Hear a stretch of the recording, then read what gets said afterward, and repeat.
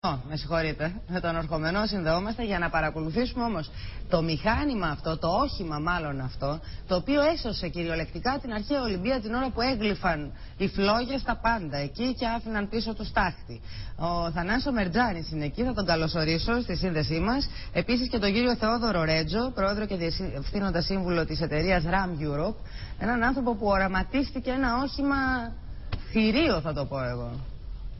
Λοιπόν, δεν ξέρω πώς θέλετε να το πείτε. Θέλετε να το πείτε Jumbo Track Multi, θέλετε να το πείτε Leopard, θέλετε να το πείτε Θηρίο. Σημασία έχει ότι αυτό το συγκεκριμένο όχημα που αποτελεί μια πατέντα της ελληνικής εταιρείας Ram Europe κατασκευάζεται εδώ στον ε, Ορχομενό. Είναι ένα πρόγραμμα που έχει διαρκέσει πέντε ολόκληρα χρόνια έτσι, προσπαθειών. Ένα πείραμα που γίνεται πάνω σε αυτό το μηχάνημα έχει ολοκληρωθεί πλέον. Μπορεί να παράσχει ε, υπηρεσίες σε πολύ δύσκολες ε, καταστάσεις μια ιδιωτική πρωτοβουλία της ε, ελληνικής ε, πλευράς και μόνο που έσωσε το λίκνο του Ολυμπισμού, όπως είπες και εσύ λίγο πριν. Ε, έχουμε κοντά μας τον Διευθύνοντα Σύμβουλο. Θα θέλαμε, ε, κύριε Ρέτζο, να μας εξηγήσετε ακριβώς τι είναι αυτό το μηχάνημα. Ένα-ένα σημείο ξεχωριστά. Το οποίο εμείς είδαμε και στα πλάνα την ώρα της δράσης. Το βλέπουμε τώρα την ώρα της ε, δράσης, κύριε Ρέντζο, σας διακόπτω.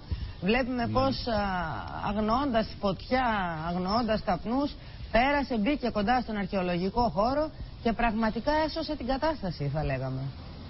Μπήκαμε και μέσα στον αρχαιολογικό χώρο, που δυστυχώς η φωτιά είχε φτάσει να γλύφει τα τζάμια του μουσείου και αν είχε καθυστερήσει έστω και 10 λεπτά δεν θα υπήρχε το μουσείο αυτή τη στιγμή. Διότι δεν μπορούσε να επιχειρήσει οποιοδήποτε άλλο μέσο και ο λόγος είναι πάρα πολύ απλός ότι όταν υπάρχει τόσο μεγάλο μέτωπο φωτιάς ούτε τα επίγεια μέσα ούτε τα εναέρια μπορούν να προσεγγίσουν παρά μόνο ένα όχημα το οποίο έχει τις δυνατότητες να το κάνει αυτό δηλαδή να περνάει μέσα από τη φωτιά έχει τη δυνατότητα να σώζει κόσμο, να απεγκλωβίζει κόσμο έως 10 άτομα διότι είναι θωρακισμένο ε, γιατί πρόκειται όπως σας είπα πριν ε, για πρώην άρμα μάχης είναι από ατσάλι θωρακίσουν, περνάει λοιπόν μέσα από τη φωτιά και μπορεί και σώζει λοιπόν, και κατασβήνει τη φωτιά. Κύριε Ρέτζο, πάμε λίγο σιγά σιγά να δούμε ένα-ένα ε, τα εξαρτήματα αυτού του μηχανήματος. Λοιπόν, εδώ έχουμε αυτό το σημείο, το, το, το ψαλίδι αυτό που λέμε εδώ πέρα. Αυτή είναι μια λεπίδα η οποία μπορεί να ανοίγει δρόμο όπου υπάρχουν ε, εγκλωβισμένα, έχουν, ε, έχουν πέσει κορμί δέντρων ή όπου μπορεί να διανοιχτεί δρόμος για να περάσουν άλλα οχήματα ε, και μπορεί επίσης να χρησιμοποιηθεί για διάνοιξη ζωνών πυρασφαλείας κατά τη διάρκεια της πυρόσβεσης και μπορεί επίσης να ε, χρησιμοποιηθεί για να ρίξει ακόμα και δέντρα ή οτιδήποτε άλλο. Ό,τι σταθεί εμπόδιο τέλος πάντων Ακριβώς στην κατάσβεση. Άρα λοιπόν δεν υπάρχει δύσβατη περιοχή, αντιλαμβάνομαι εγώ κύριε Ρέτζο. Μπορεί να πάει και σε περιοχές που λοιπόν, δεν πλησιάζει πυροσβεστικό όχημα. Το συγκεκριμένο άρμα παύλα πυροσβεστικό μπορεί να φτάσει οπουδήποτε. Ακριβώς. Πόσο ε, κοντά στις επειδή... φλόγες μπορεί να προσεγγίσει, κύριε Ρέτζο; Γιατί είδαμε φλόγε που ξεπέρναγαν τα 30. Είδαμε φλόγες που ξεπέρναγαν τα 30 μέτρα σε ύψος. Πόσο κοντά μπορεί ναι, να έρθει το μηχάνημα; Μπορεί να μπει μέσα στη φωτιά, διότι οι χειριστές του. Ήθελα, ήθελα, ήθελα να φτάσουμε σε αυτό το σημείο. Βλέπουμε τον χειριστή και τον οδηγό. να δείτε ότι είναι εκτεθειμένοι μέσα. Αυτή, τη, αυτή τη στιγμή είναι εκτεθειμένοι, αλλά μπορούν να μπουν μέσα. Έχει ειδικά καπάκια όπου προστατεύονται και υπάρχει μάλιστα χημική προστασία και από καπνούς και από, ε, από φλόγες ή οτιδήποτε άλλο, διότι είναι, σας λέω και πάλι, ένα πρώην άρμα μάχης. Δηλαδή αυτό ήταν μια μηχανή πολέμου και εμείς τη μετατρέψαμε σε, μια, σε ένα εργαλείο ειρήνης ακριβώς για την προστασία του περιβάλλοντος. Κύριε Ρέτσο, τα, τα... Ε, θέλουμε να κάνουμε 500 ερωτήσεις ο καθένας βεβαίως, αλλά το ναι. άρμα μάχης έχει κανόνι.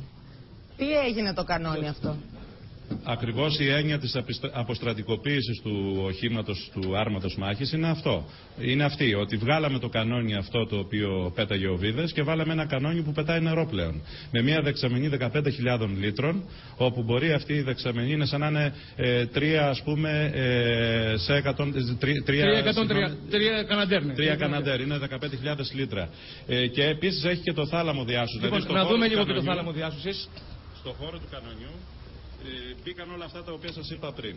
Αυτός είναι ο θάλαμος διάσωσης, όπου μέσα μπορούν να μπουν μέχρι 10 άτομα και μέσα μπορούν να διαβιώσουν μέχρι και μία ώρα, γιατί υπάρχει οξυγόνο, υπάρχει air condition εδώ αριστερά, ίσως αν βλέπει η κάμερα είναι το air condition, όπου μπορεί και τροφοδοτεί με, ε, με καθαρό αέρα και τέλος πάντων συντηρεί, δηλαδή αν είναι εγκλωβισμένα άτομα κάπου στη φωτιά, μέσα στη φωτιά, μπορούν να παραμείνουν μέχρι και μία ώρα μέσα στη φωτιά σε, σε ασφάλεια. Μάλιστα. Ένα πολύ σημαντικό στοιχείο που νομίζω ότι πρέπει να το πούμε. Έχει, είναι, αφορά τη χωρητικότητα του συγκεκριμένου οχήματος σε νερό. Είπε λίγο πριν ο κύριος ε, Ρέτσος για παράδειγμα ότι τα Καναντέρ έχουν στην διάθεσή τους 6.000 λίτρα. Οι δεξαμενέ τους χωράνε 6.000 λίτρα. Αυτή εδώ η δεξαμενή προφανώς είναι αυτό το σημείο εδώ. Λίτρα. Ναι, Ναι, αυτή, είναι η αυτή εδώ είναι 15.000 λίτρα. Το μεγάλο όχημα της πυροσβεστική ε, υπηρεσίας έχει χωρητικότητα νερού στις δεξαμενέ τους 15.000 λίτρα. 15 τόνους ε, περίπου. Συμ- Και το πολύ σημαντικό στοιχείο είναι ότι το βάρος του το επιστριοφόρο, ε, οι επίστριε που έχει μπορεί να παρατείνει και η στόχευση μάλλον ε, ε, από το σημείο που ε, φεύγει, το, που εκτοξεύεται το νερό, μπορεί να παρατείνει την παραμονή στην κατάβαση, να κάνει ε, πιο στοχευμένη δουλειά, πιο αποτελεσματική δουλειά. Ε, βέβαια, μπορεί Επίσης, να ένα μπει άλλο πια που μέσα θέλουμε- στις φλόγες, αγνοώντας φλόγες, καπνούς, τα πάντα. Στη δύσβατη περιοχή Ακριβώς, που δεν προσεγγίζει μπορεί- κανείς άλλος και που οι προσπάθειες γίνονται από αέρος. Ποιος σας έστειλε Μπορεί στην, Ολ- επίσης να στην προσεγγίσει- Ολυμπία, κύριε Ρέτζο, πο- για θυμηθείτε λίγο εκείνες τις ώρες στην αρχαία Ολυμπία; Ήσασταν στην περιοχή, σπεύσατε αμέσως, καθυστερήσατε να φτάσετε. Τι συνέβη; Ε, Καταρχάς την Παρασκευή που ήμασταν όλοι συγκλονισμένοι από αυτά τα γεγονότα, τα λυπηρά που τα γνωρίζει όλη η Ελλάδα πλέον, υπήρχε μια ανησυχία το τι κάνουμε εμείς. Εμείς είχαμε το όχημα αυτό και κάποια στιγμή λοιπόν πήραμε μια απόφαση ως εταιρεία να το διαθέσουμε, να το στείλουμε δηλαδή κάτω στον τόπο της φωτιάς. Στην αρχή πήγαμε την πρώτη μέρα της Παρασκευής, πήγαμε στην Κορινθία, σε κάποιο χωριό που λέγεται Σουλινάρι, αν θυμάμαι καλά, και στο Καλέτζι Κορινθίας. Και την επόμενη ημέρα, ε, γύρω στις 10 η ώρα, πήραμε μια εντολή από το αρχηγείο της, ε, πυροσβε- από το συντονιστικό όργανο της πυροσβεστικής και πήγαμε στην αρχαία Ολυμπία.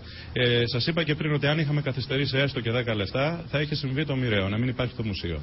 Αυτό όμως είναι μια πρωτοβουλία της δικιάς μας εταιρείας. Από μόνοι μας αισθανθήκαμε την ανάγκη να το κάνουμε αυτό. Κατεβήκαμε με ειδικό προσωπικό, με εκπαιδευμένο προσωπικό, με τους δύο χειριστές, με τον ε, υπεύθυνο του θάλαμου διάσωσης, με τον συντονιστή της ε, όλης επιχείρησης, με τον γενικό διευθυντή της εταιρείας και με μένα και συντονίσαμε πραγματικά γιατί ήταν μια εσωτερική ανάγκη να το κάνουμε αυτό.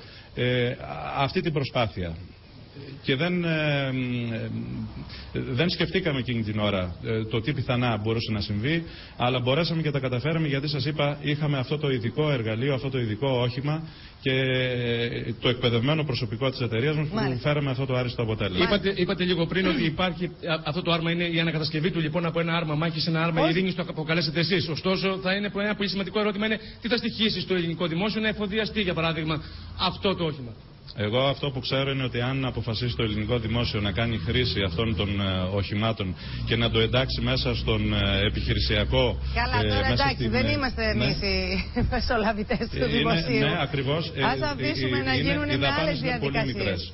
Α αφήσουμε να Ακριβώς. γίνει με άλλη διαδικασία αυτή που η ιστορία. Δεν ξέρω να αν, γίνει θέλετε, ποτέ. αν μπορούμε, αν Εγώ μπορούμε θέλω Πόπη, να να δείξουμε ρωτήσω. τελικά πώς κινείται. Ε, να, Να το δούμε πώς κινείται δείξουμε, αυτό το να το μηχάνημα. δούμε να κινείται και όσο το βλέπουμε να κινείται, θα ήθελα εγώ να μάθω πώς ανεφοδιάζεται το, το όχημα αυτό. Α, είναι- είναι πολύ σημαντικό. ναι. Και πόση Αυτό ώρα έχει κάνει για να δικές του- ανεφοδιαστεί; Θέλει 7 λεπτά, έχει δικές του Μόνο για αντλίες επάνω. 15.000 λίτρα; Ναι, ναι, έχει ειδική αντλία όπου μέσα σε 7 λεπτά μπορεί να ανεφοδιαστεί ε, με νερό. Αρκεί βέβαια να υπάρχει κοντά πηγή, ε, να υπάρχει κοντά νερό ή τα υδροφόρα όπως ε, υπήρξε τώρα αυτή τη στιγμή η βοήθεια από τα υδροφόρα ε, μας, ε, που ήταν κοντά μας πάντα. Στο χώρο της Αρχαίας Ολυμπίας υπήρχαν υδροφόρα που τα είχε διαθέσει η πυροσβεστική. Μπορέσαμε και πετάξαμε περί τους 150 τόνους νερό. Δηλαδή ανεφοδιάζαμε συνεχώς, επί μία ώρα σβήναμε τη φωτιά και είναι ακριβώς 7 λεπτά. Σε μια δύσκολη κατάσταση όπως αναφέρεται σε Λοιπόν, να κάποιο το μουσείο, δούμε υπάρχει παράλληλα, δυνατότητα Θανάση, ανεφοδιασμού από Θανάση. ελικόπτερο; Θανάση, να το Ε, δούμε κιόλας ναι. να Βεβαίως. κινείται όσο να μιλάμε. συμπληρώσω λίγο. Ναι, να συμπληρώσω λίγο για τον ανεφοδιασμό. Έχουμε κατασκευάσει μια ειδική καταπακτή, ένα καπάκι όπου μπορεί να εφοδιαστεί και από αέρος με ελικόπτερο, μέσα σε ένα λεπτό. Μάλιστα, πολύ ενδιαφέρον. Θα σας ευχαριστήσω πάρα πολύ για τη σύνδεση αυτή την ενδιαφέρουσα. Εγώ για το ενδιαφέρον Είναι σας. λοιπόν, αν ανοίξατε τώρα τις τηλεοράσεις σας, το όχημα το οποίο έσωσε κυριολεκτικά την αρχαία Ολυμπία. Ένα άρμα μάχης, α, το οποίο έχει ανακατασκευαστεί και έχει γίνει πυροσβεστικό όχημα, το μεγαλύτερο ίσως, με 15.000 λίτρα χωρητικότητα, κινείται παντού, το βλέπουμε εδώ να κινείται. Πηγαίνει σε δύσβατες περιοχές, ανεφοδιάζεται ακόμη και από ελικόπτερα μέσα σε ένα λεπτό. Παίρνει ξανά τους 15.000 τόνους και μπορεί να διασώσει μέχρι και 10 άτομα τα οποία κινδυνεύουν. Το βλέπουμε εδώ να εκτοξεύει μάλιστα για το νερό του. Ένα παλιό άρμα μάχης που πετούσε βλήματα από το κανόνι που είχε εκεί. Τώρα πετά νερό και σώζει την κατάσταση, σώζει ανθρώπινες ζωές και περιουσίες και βεβαίως έσωσε την κοιτίδα του Ολυμπισμού, την αρχαία Ολυμπία. Εντυπωσιακό πραγματικά. Εντυπωσιακό πραγματικά. Αχρίαστον άνε θα συμπληρώσουμε εμείς και ευχαριστούμε πολύ τον Θανάση το Μερτζάνη που ήταν στο ρεπορτάζ, το εξαιρετικό ρεπορτάζ και τον κύριο Ρέτζο που μας φιλοξένησε και μας ξενάγησε. Πώς σας φαίνεται, κύριε Αυτιά, Νομίζω ότι είναι πάρα πολύ χρήσιμο αυτό το, το εργαλείο. Ασφαλώς και ο, οι ερωτήσεις που κάνετε για τον εφοδιασμό είναι μπορεί πολύ να χρήσιμες. δημιουργήσει και ομπρέλα, βλέπετε, μπορεί να ε, ρίξει το νερό με μεγάλη πίεση, να δημιουργήσει ομπρέλα. Πραγματικά είναι, είναι εντυπωσιακή η εικόνα. Ασφαλώς. Και βεβαίως ακόμη πιο εντυπωσιακά τα αποτελέσματα σας τονίζουμε ότι την ώρα που α, μένονταν οι φλόγες εκεί, η πυρκαγιά στην αρχαία Ολυμπία, ξαφνικά όλοι είδαν να πλησιάζει το θηρίο τούτο. Πρώτα άκουσαν το θόρυβο βεβαίως και συνέχεια είδαν το θηρίο τούτο, το οποίο εκτόξευσε τα 15.000 λίτρα του νερού που είχε στις δεξαμενές του και έσωσε την α, κοιτίδα του Ολυμπισμού. Ευχαριστούμε και πάλι. Επιστρέφουμε εδώ στο στούντιο τώρα.